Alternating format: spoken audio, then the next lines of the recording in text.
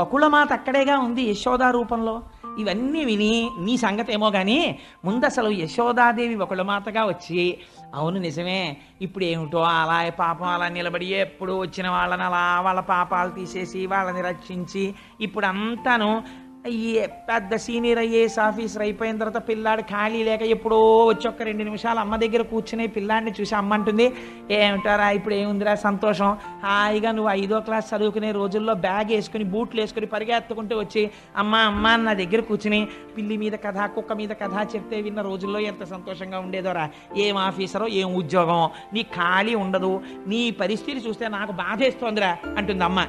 ఎందుకని కుర్రాడు సంతోషపట్టలేరు సుఖంగా లేడు. ఎప్పుడు వచ్చేవాళ్ళు వెళ్ళేవాళ్ళు పాపం వాడికి ఖాళీ ఉండదని. అలా నాకనిపిస్తుంది యోష గణీన వరదగ్ని విమధ్యమానే. ఈ శ్లోకం సుప్రభాతంలో జరిగితే ఒకళ్ళ మాట ఏమనుకుంటుంది?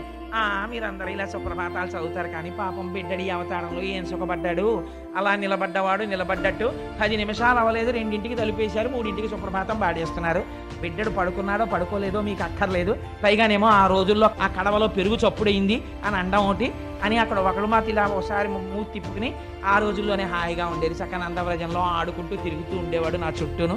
ఇప్పుడు ఏముంది పాపం నైవేద్యాలని పేరే కానీ లడ్డూలు యంత్రాలు ప్రసాదాలు వీటికే సరిపోయాయి అని ఒకళ్ళ మాత మీకు జ్ఞాపకానికి వచ్చి ఆ ఎన్ని మాటలు చదువుతున్నా మీకు ఆ వెంకటాచలానికి మనస్సు వెళ్ళిపోయి మాత గోడ ఆ కన్నం అందులోంచి వంటశాల అమ్మవారు పిల్లాడికి ఇప్పటికీ వంటలు చేయించి వెంకటేశ్వర నువ్వు తిను పులిహార తిను ఇవాళ బాగుంది రే జీడిపప్పు ఎక్కువ ఇచ్చాను అని చెప్పి అంత స్వతంత్రంగా కూర్చుని పెడుతూ ఉంటే లేత అరిటాకు దగ్గర కూర్చుని గారు నేను వడ్డిస్తానులేండి. అంటే ఉండమ్మా వాడికి వడ్డించుకోవడంలో నాకు తృప్తి అని ఒకళ్ళ మాత వడ్డిస్తుంటే సరే మీరే వడ్డించండి లక్ష్మీదేవి కాళ్ళ గజ్జలు గల్లుమనేటట్టు మణిమంజీరములు మోగుతుండగా పాయస పాత్ర అక్కడ పెడితే ఒకళ్ళ మాత స్వతంత్రంగా తీసి ఇలా వేస్తే నీ చేతి కంకణములు కణకణలాడుతుండగా నువ్వు ఆ పాయసం తీసుకుని తింటున్నప్పుడు ఒకళ్ళ మాత ఎంత పొంగిపోయి ఉంటుందో స్వామి?